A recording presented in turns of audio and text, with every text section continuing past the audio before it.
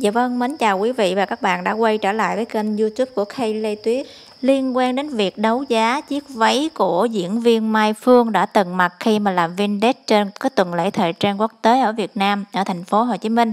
Thì phiên đấu giá diễn ra online từ ngày 1 tháng 4 cho đến ngày 8 tháng 4 với cái mong muốn là gây quỹ cho bé La Vi. Do Ốc Thanh Vân kêu gọi. Và nhà thiết kế Đức Vinci đã tổ chức một buổi đấu giá và cái mức giá khởi điểm của chiếc váy được đưa ra là 5,5 triệu đồng. Nhà thiết kế Đức Vinci cho biết đã có người trả giá cao nhất của chiếc váy khi mà sắp chốt cái phiên này là 120 triệu đồng. Và người này cũng đã đồng ý đặt cọc cho nhà thiết kế 12 triệu đồng. Tuy nhiên rằng à, đến cái thời điểm à, cận kề thì người này nhắn tin cho tôi và báo là hủy vì lý do cá nhân. Bạn ấy đã gửi lời xin lỗi và nhắn cho tôi là hãy gửi 12 triệu đồng mà bạn ấy đã đặt cọc vào cái quỹ từ thiện để giúp đỡ bé La Vi của ốc Thanh Vân. Và các bạn đấu giá trước đó cũng đã báo hủy rồi.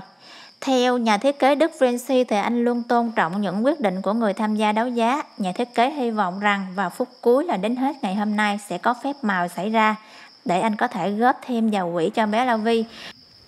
Hiện tại thì số tiền 12 triệu đồng do nhà đấu giá đặt cọc và nhà thiết kế còn kêu gọi quyên góp thêm một khoản tiền nữa thì tổng cộng đã gây được quỹ cho bé La Vi từ nhà thiết kế này là 60 triệu đồng.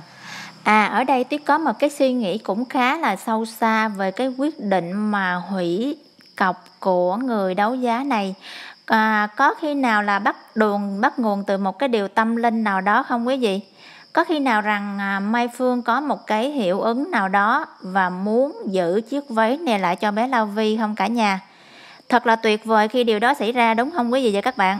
À, Tuyết nghĩ rằng La Vi nên giữ lại chiếc váy này và Phùng Ngọc Huy nên có một cái bước can thiệp cũng như là ốc Thanh Vân cũng như là nhà thiết kế Đức Vinci.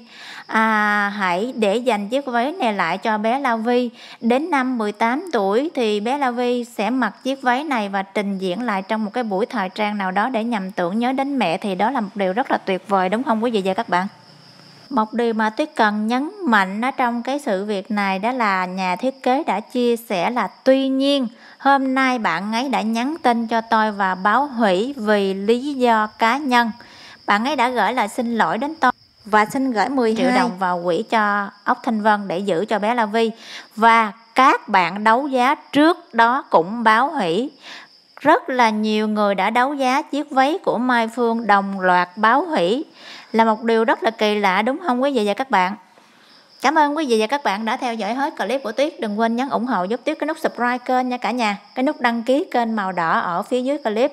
À, mình hãy nhấn vào cái chuông thông báo ở kế bên để luôn là người đầu tiên theo dõi clip ủng hộ giúp Tuyết. Xin chào và hẹn gặp lại quý vị và các bạn. Luôn cầu mong rằng chiếc váy này hãy giữ lại cho bé La Vi. Tuyết không biết là có ai đồng quan điểm với Tuyết không? Quý vị, Mình hãy để lại cái lời comment nếu như mà có cái sự đồng thuận với Tuyết nha cả nhà. Xin chào và hẹn gặp lại quý vị.